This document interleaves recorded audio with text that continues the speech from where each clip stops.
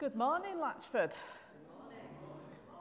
Oh, there's a quite a few people here today. That's fantastic. Lovely to see you all. Uh, we are live streaming also today um, to the Facebook page. So if you're joining us on the Facebook page, a very warm welcome. Uh, and we are also live streaming uh, out into the circuit. And I know for sure that Ashton, uh, Methodist Church are joining us this morning, so a very warm welcome uh, to the folk down there at Ashton. Now, just checking how many of you are observant. yes, we've aged 10 years. I've got Sunday the 5th of March 2033. Thank you, Jock, for pointing that out to me. I don't quite know what happened there, but uh, I can assure you it's 2023. I don't want people panicking. Uh, but a warm welcome to you all. We are, of course, uh, second Sunday in Lent, uh, and so we continue on this journey uh, through the season uh, as we uh, look forward uh, to Easter. We're going to stand to sing our first uh, hymn this morning, which is To God Be the Glory, and uh, all the um, Words are on screen. Uh, it is number 94 if you've got a book. We stand to sing.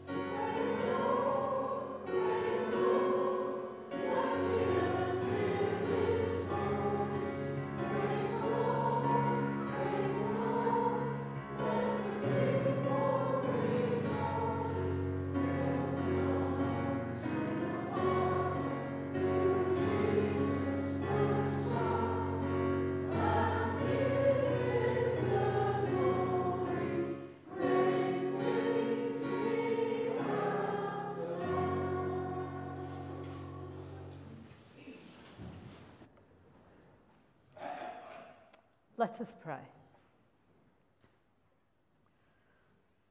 Lord, as we sing of your glory this morning, we come with our hearts full of gladness and thankfulness.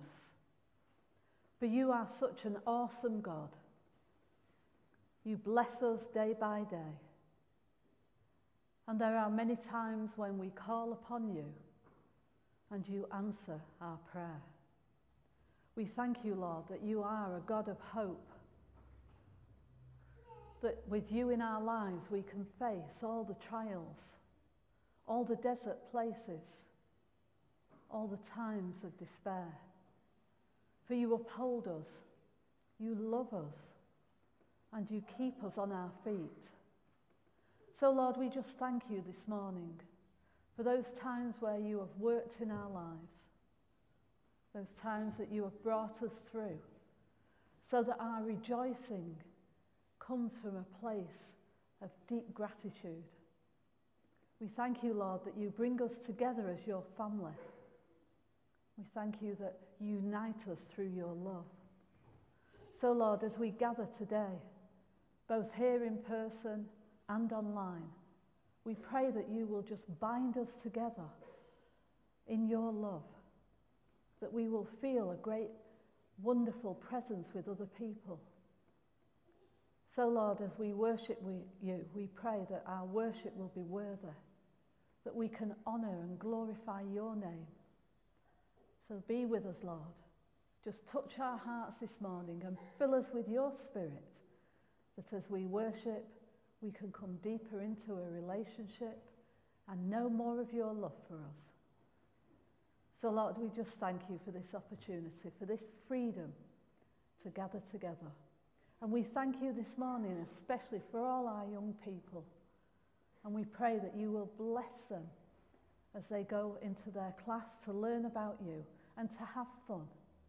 We pray, Lord, that you will just be close to them and be with our teachers. Give them the wisdom, the courage, and everything that they need to do this incredible work with our young people. We thank you for them, Lord, for their dedication week by week. So, Lord, bless us all in this worship time. In your name we pray. Amen. Our young people are going to leave us.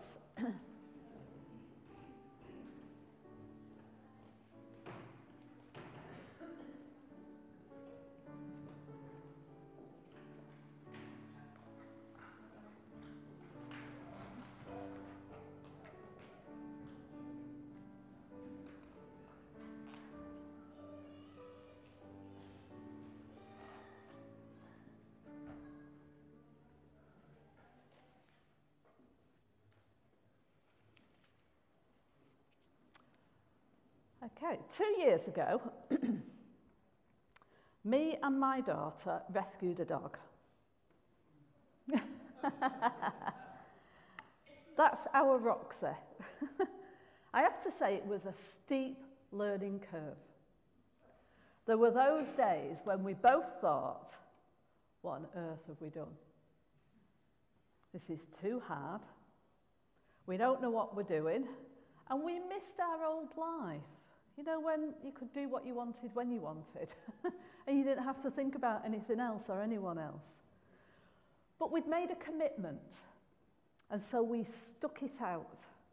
And now we have this beautiful, funny, loving member of our family. Now, not being a dog myself, I don't know if she gets bored, especially when I take her out on a walk. Because We've been doing the same walks for two years. They vary a little bit because we can go down the canal or we can go onto the field or we can go through the woods. But it's the same walks. Now, I get bored and I think, how can I spice this up? So, like, we might do the field and then whip onto the canal just for a change of scenery. it's one of those The, this week I was uh, walking through the woods with her and uh, I was thinking about this, thinking, there must be somewhere else. I mean, I can put her in the car and take her somewhere, but I want something that's just local in walking distance. I was thinking, there must be somewhere else, and I'm bored with this walk. When suddenly, what came into my mind uh, was, this is a routine. And sometimes routines are the same day in, day out. We get stuck and we get trapped. There must be something that springs to mind for you that is a routine that you do every day or every other day or even once a week. So you might eat the same food on a Monday. Every Monday, sausage, egg and chips or something like that. You might eat the same food on the same days. You might strip your bed only on a Saturday and remake it. Your shopping day may be a Wednesday. You may only visit family on birthdays. In essence, your life is full of routines. And by the very fact that you are sat here today or you're watching online, tells me that coming to worship is part of your weekly routine. I wonder, do you have expectations about how worship will happen? Will its content include hymns? Topical points to be made? Prayer? Meeting of friends and catching up? I wonder how we're doing so far that your routine of coming to church has been realised. But the question for you is to ponder on is does your routine of worship need renewing? Is there anything missing that you would want including? Now, your answer might be no and nothing. But if something comes to mind, then you can post on the Facebook page or you can have a word with me. You can send me an email or a text message or phone me. If you feel that there might be something, maybe you think we need more prayer or testimony. That's something that we rarely do in the Methodist Church. Or more drama. I know you get drama when you have the worship leaders and they're, they're very good at that. Or maybe video or is there something missing from worship, from the routine of worship that you think should be included? When worship becomes a familiar pathway, we can be missing out on blessings and missing those God given moments. Now, I know for Rixton Methodist, uh, they've requested interactive worships, please. They said they've been preached at for years and they don't want it anymore. They want to be part of the worship, they want to be included, they want to have conversations, and it's allowed a new freedom in their worship. And the spirit flows, and there's laughter, and there's conversation, and there's learning, and it's just a different kind of worship. It all leads me to think about what are our pathways to God. Are we on the same pathway that we've been on for years? Is your pathway exciting and transforming? What does your spiritual pathway even look like? Something for you to ponder this week. We're going to stand to sing. This is a, I don't often use this hymn because there's actually no theology in it as such. But uh, I know it's liked by a lot of people and it fits um, the theme. One more step along the world I go. There is no mention of God or Jesus or Holy Spirit in this. Uh, so anybody could sing it. But um, when we sing it, we imagine that we're walking this pathway uh, with God. So we stand to sing.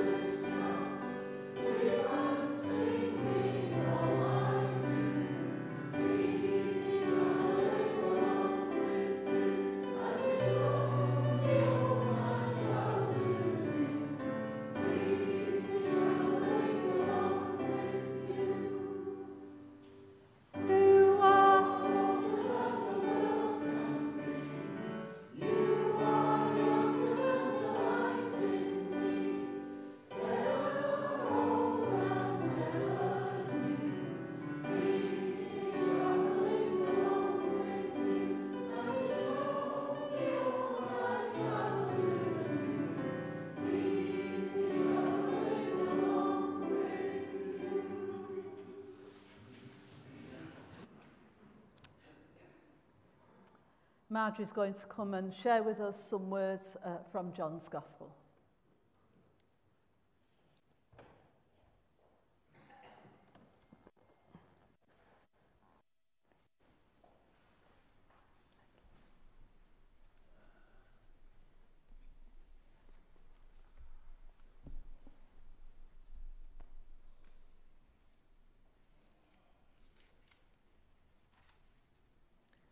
The reading is taken from John chapter 3, verses 1 to 17. Jesus teaches Nicodemus. Now there was a man of the Pharisees named Nicodemus, a member of the Jewish ruling council. He came to Jesus at night and said, Rabbi, we know you are a teacher who has come from God. For no one could perform the miraculous signs you are doing if God, if God were not with him. In reply, Jesus declared, I tell you the truth. No one can see the kingdom of God unless he is born again. How can a man be born when he is old? Nicodemus asked. Surely he cannot enter a second time into his mother's womb to be born? Jesus answered, I tell you the truth. No one can enter the kingdom of God unless he is born of water and the Spirit. Flesh gives birth to flesh, but the Spirit gives birth to spirit.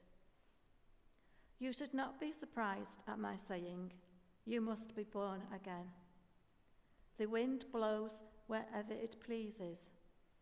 You hear its sound, but you cannot tell where it comes from or where it is going.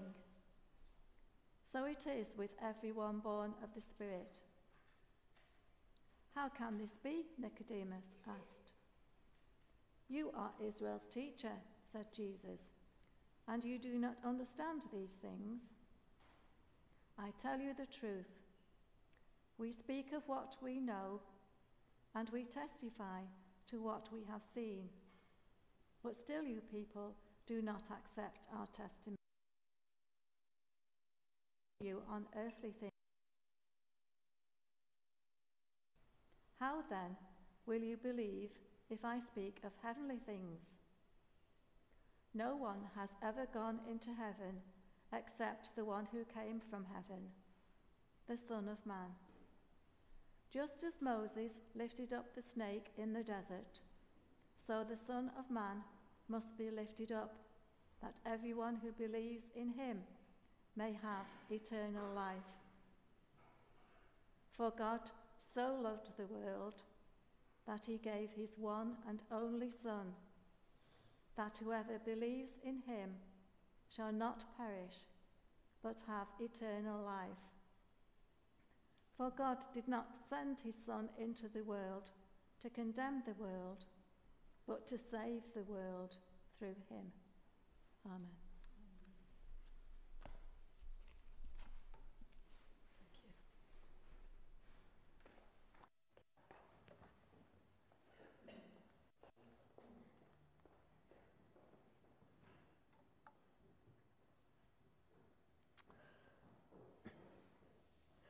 Spiritual pathway is the way a person most naturally connects to God and grows spiritually. There are many pathways. I'm just going to share a few with you, and uh, you will probably see yourself in one or two of them. So, first of all, there's the relational pathway. A relational pathway is about being involved with people, getting alongside someone. And God often speaks to us through significant relationships.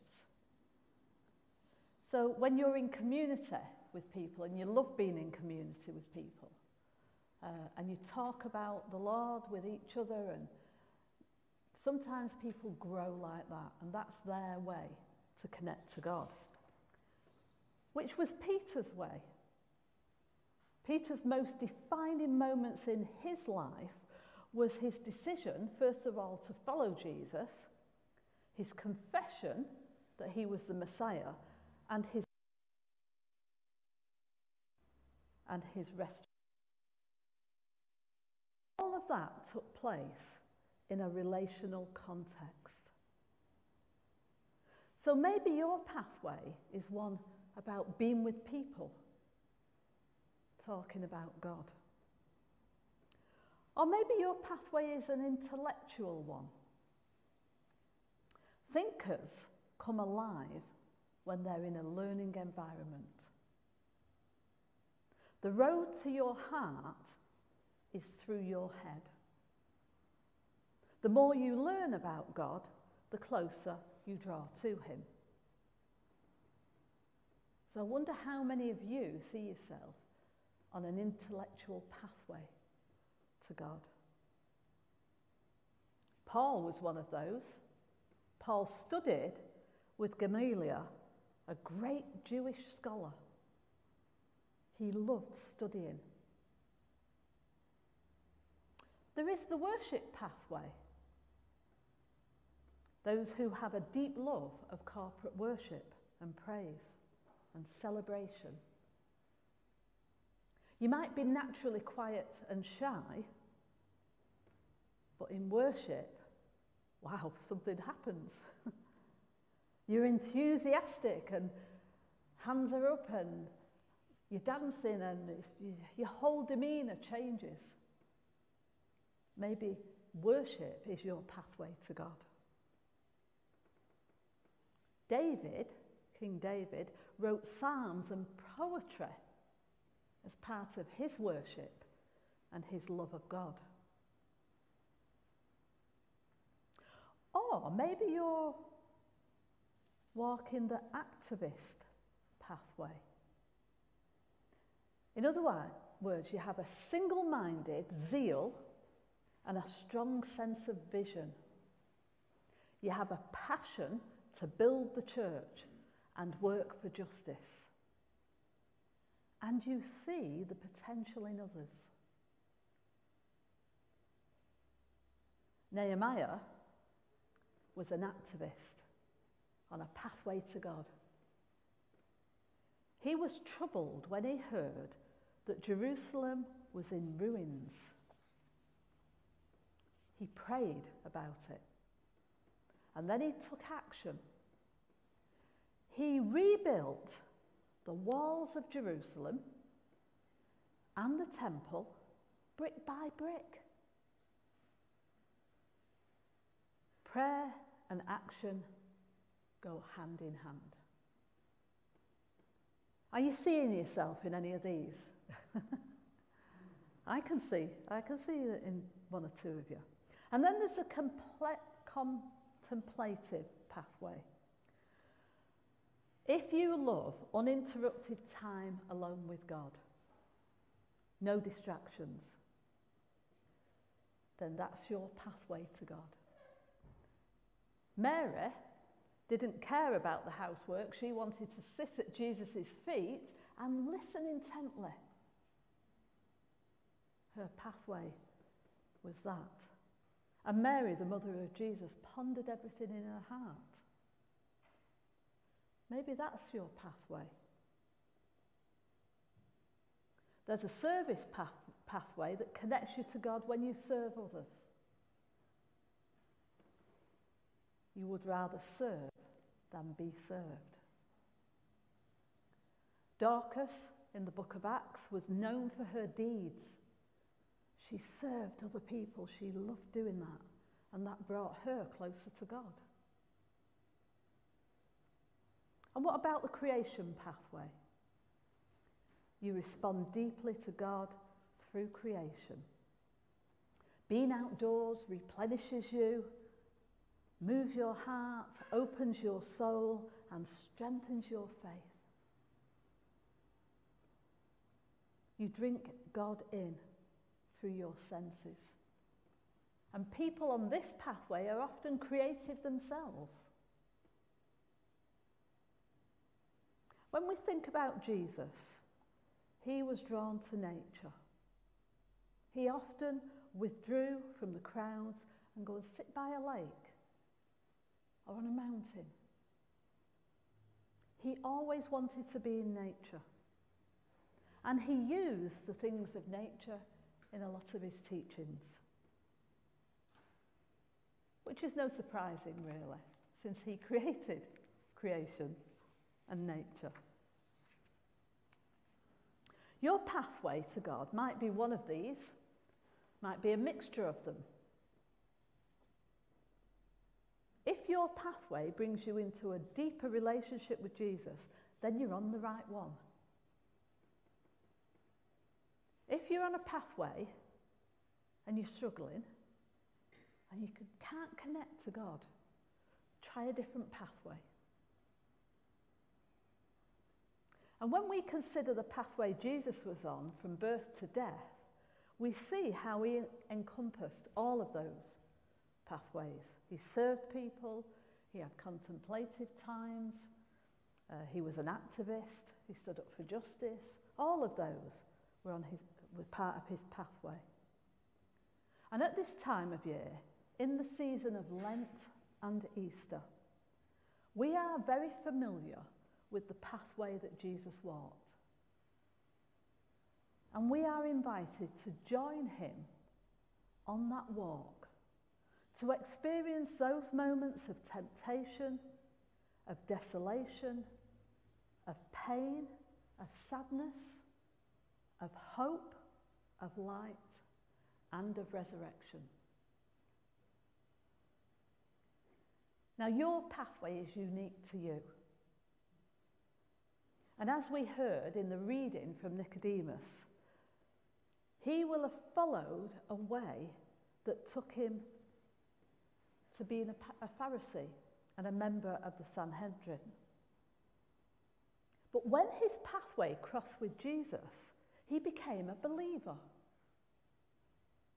He chose not to follow Jesus out in public, but he sought him in the night. And it was there that Jesus taught him. He remained a Pharisee, a member of the Sanhedrin. He was the one that said to them that a man has to be heard before he's judged, because they were ready to hang, draw, and quarter Jesus without a trial. And Nicodemus came with spices to help prepare Jesus' body. I bet Nicodemus thought his pathway was secure. His young life had been dedicated to learning and following a path. He studied the Torah, the law. Those things were so precious. They were everything to him on this pathway. But an encounter with Jesus is life changing and puts you on the right pathway. The one that leads to life everlasting. The one that leads you to know forgiveness. The one that leads you to know you are loved, cherished, honoured as a child of God. As Nicodemus wrestled, trying to understand this idea of rebirth, Jesus gets irritated, saying, I've tried with simple words and pictures of everyday life, and you still don't understand. How can you ever understand the deep things if the simple things are beyond you? And there's a great truth here for all of us. It's easy to sit in discussion groups, to study and to read books. It's easy to discuss the intellectual truth of Christianity, to know about God. But the essential thing is to experience for yourself the power of God through the empowering of the Holy Spirit. Being a Christian, being a disciple, is something to be experienced, not just discussed. We do need an intellectual grasp on things, but more importantly, is to experience the power of Jesus in our lives. At the heart of Christianity is the mystery of redemption. This life now, and when lived in faith and belief, is transformed into a new life. And it speaks of the good news found in Christ. That new life goes the extra mile for others. That new life is God's very presence in the world. When our pathways cross with Christ, we get on a new pathway and our lives are transformed. Let's not misunderstand. To be born again is to be changed in such a way that it can only be described as a rebirth or a recreation. So, are you ready for transformation? Are you ready for rebirth? Are you ready to be made new? Ask, and it will be given. Seek the pathway, and you will find it. May God bless us on our journeys, on our pathways of discovery and rebirth. Amen.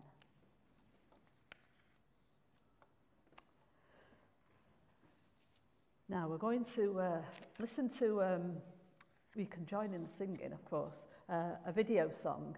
Uh, it's from the late 80s, uh, a Graham Kendrick song. Uh, if you were a fan of Mission Praise back then, uh, you'll know this one. We'll walk the land with hearts on fire. We'll remain seated. Uh, and if you want to join in, please feel free to.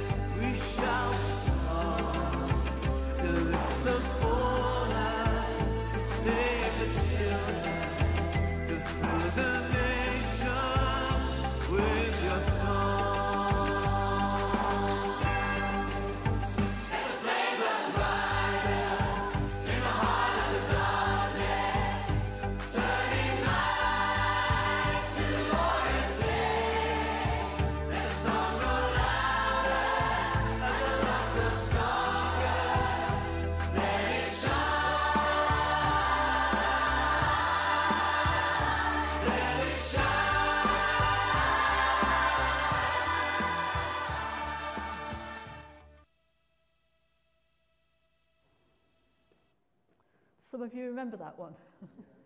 One or two do, yeah. We're now going to uh, take up our offertory uh, for the work of God in this place and uh, circuit. Thank you.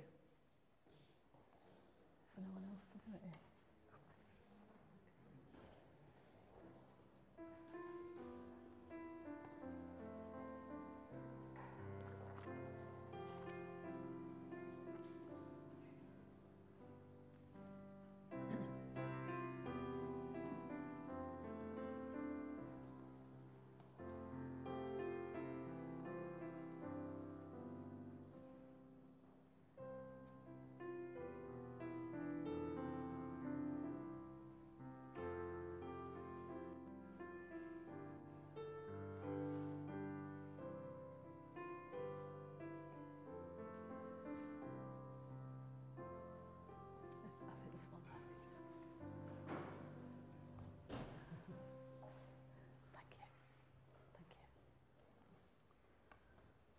Lord, you bless us with all good things.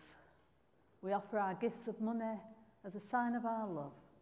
We pray that you'll bless this money, that it will be used wisely to bring your life to this world. In your name we pray. Amen.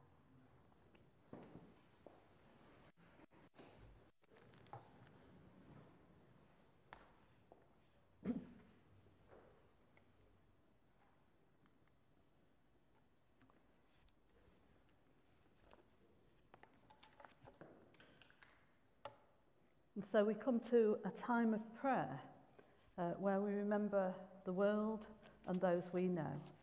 Um, today, when I, as I um, read our prayer list, I'll also be including a prayer list uh, from Ashton. So let us pray.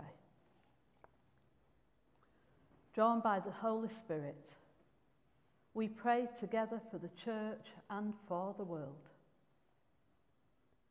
Lord God, as members of your church in this generation, we ask for your guidance and blessings on us all. As the people of God, we ask for the gifts we need for all the work you need us to do.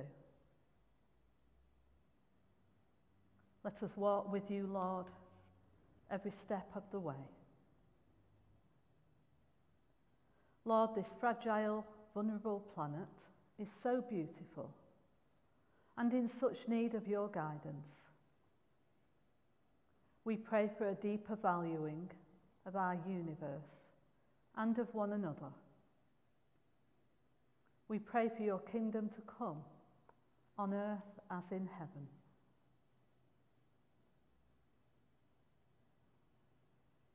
Let us walk with you, Lord, every step of the way.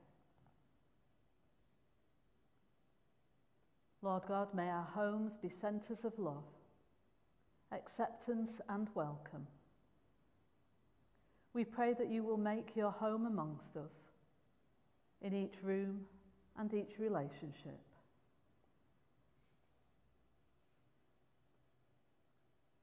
Let us walk with you, Lord, every step of the way. Lord God, we pray for all who are weighed down with doubts, fears, and misgivings, all who are haunted by the past or scared by the future. We ask for them an awareness of your constant presence and courage to place their hand in yours. Lord God, we pray for those who are sick. And we offer to you the names on our prayer list.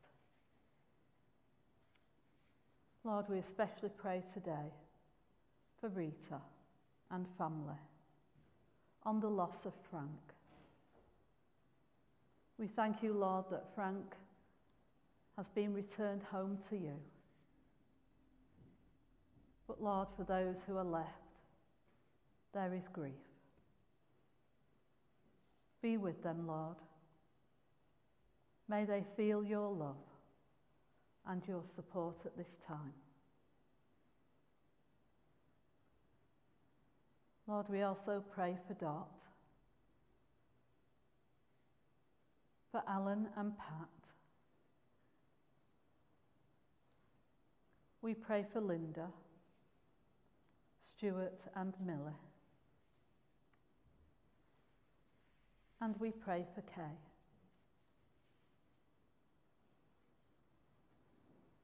From Ashton, we bring before you, Lord, Barry.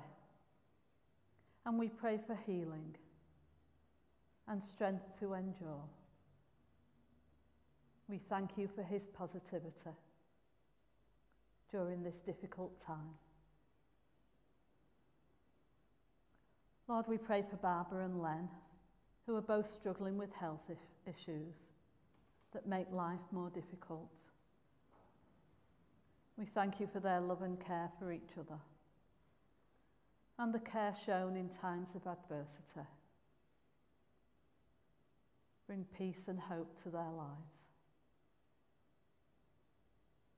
And we pray for Diane, facing a serious illness and difficult treatment. We pray for healing and strength to endure. And Lord, we thank you for a safe return of Diane from being within the love of her family.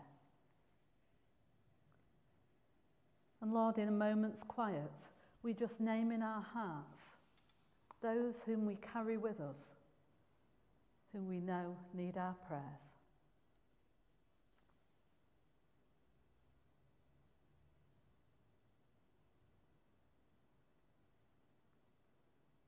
Lord, we ask that your love will bring comfort and hope to all we have named before you.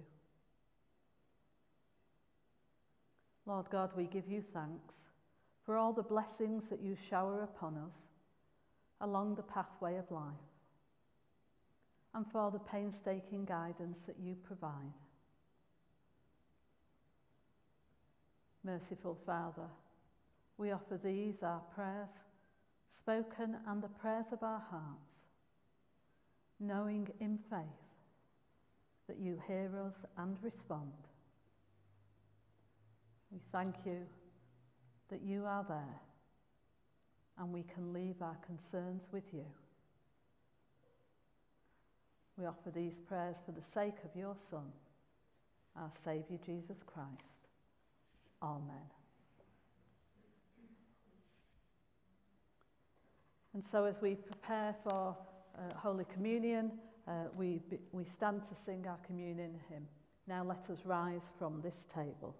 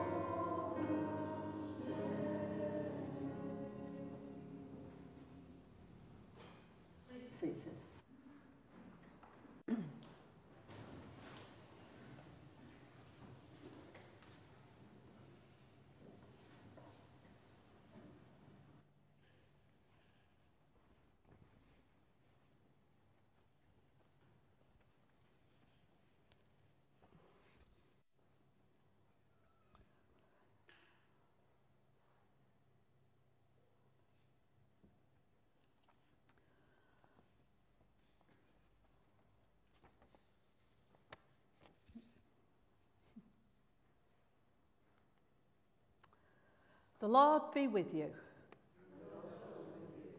Lift up your hearts. Let us give thanks to the Lord our God.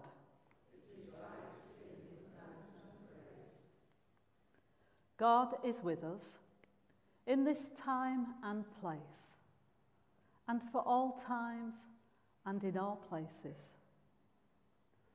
In our journeys of darkness, we turn to you, O God, rejoicing in hope. There is God, creating out of our nothingness visions of a new heaven and a new earth, breaking beyond our horizons. There is God, rising in our gathering, with nail torn hands held out, bearing the marks of deathly pain, the cost of the resurrected life.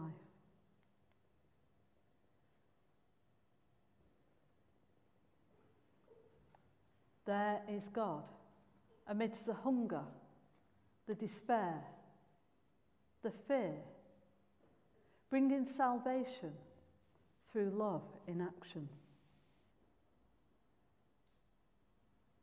There is God in our togetherness, in our difference, holding all in his hands of compassion and mercy. Made in the image of God, we live and move and have our being. I am the bread of life, says the Lord. Take this bread, take this cup, it is given for you. Remember that life and love are stronger than death, and nothing can separate you from the love of God in Christ Jesus. We believe Christ has died, Christ has risen, and will come again. Before us are gifts of bread and wine. Pour out your Spirit, that as they become for us the living body. In faith, we name this our holy table as it brings us closer to Christ. We gather as one people at Christ's table in all our frailty, none more worthy than the other, yet all made worthy in the resurrection of Christ.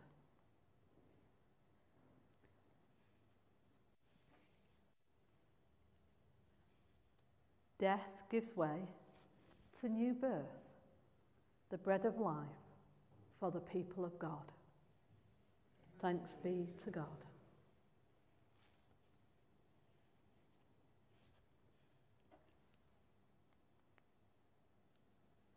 You are invited to this table where justice refuses to lay down its dreams, where courage stands beyond weakness where hope defies all despair, where love could not be defeated. Come and share this life giving meal.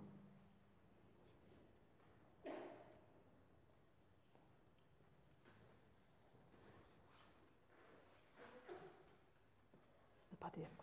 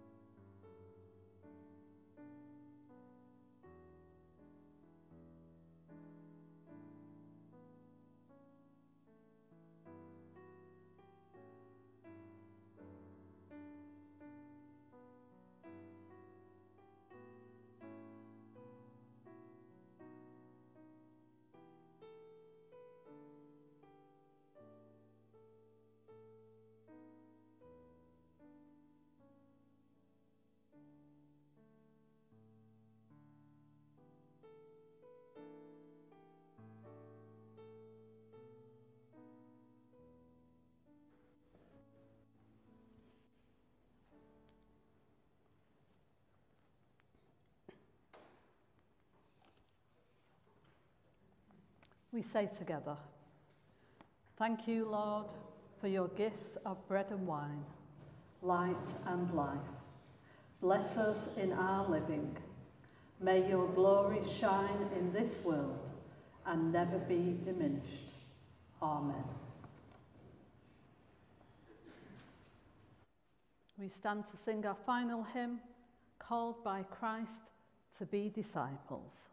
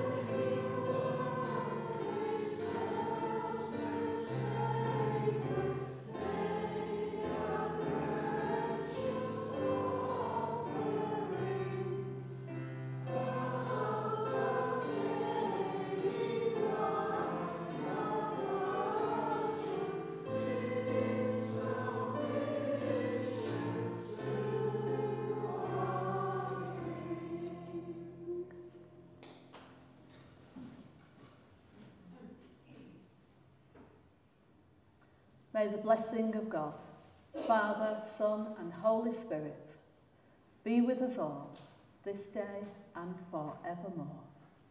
Amen.